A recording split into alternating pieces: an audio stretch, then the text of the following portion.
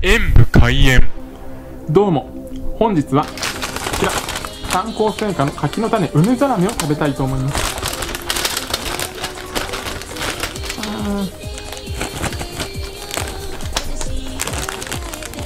あー赤々しくてなんだか酸っぱそう。どんな風なのかな。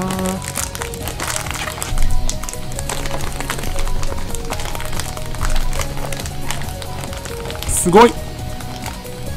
本当にちょっぴりザラメがかかっていますね。分かりにくいかもしれませんが。では食べてみたい私はおと思います。酒は飲めませんが本当にうめえ種です。梅の酸味もある程度は残っていますがそこまで酸っぱいっていうような感じではなくむしろ程よい感じで香ってくるような酸っぱさですね。このぐらいの酸っぱさだったら苦手な方でも食べられるのではないでしょうか。ご視聴ありがとうございました。コメントしていただけると嬉しいです。演武閉園パソコンおよびスマートフォンのアプリの方はクリックをお願いします。